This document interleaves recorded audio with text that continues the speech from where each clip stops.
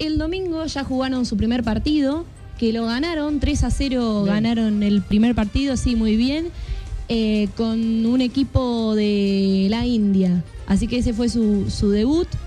Eh, debut triunfal, 3 a 0 como ya estaba diciendo. Así que bueno, la verdad que están los chicos allá viviendo una experiencia eh, inigualable, yo creo, porque eh, estar en una competición de, de este significado debe ser algo, algo muy importante para ellos. Así que bueno, vamos a tener ahora la palabra de Francisco Apaolaza en exclusiva para Magdalena TV.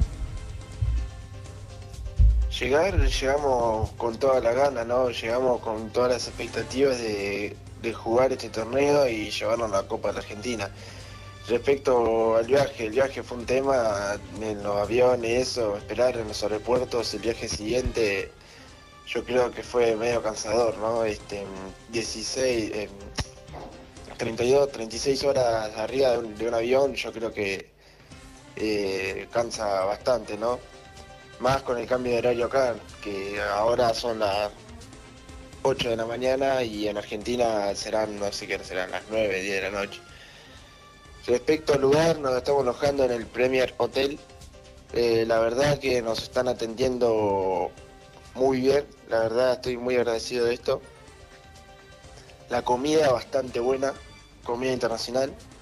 Y respecto al primer partido, yo creo que lo ganamos con total justeza. Hicimos todo lo que el técnico nos pidió.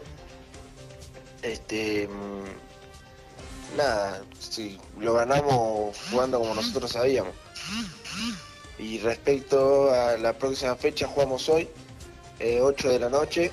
Sería eh, las 9 de la mañana en- el martes en Argentina. Jugamos contra el Friends Malasia, el equipo local.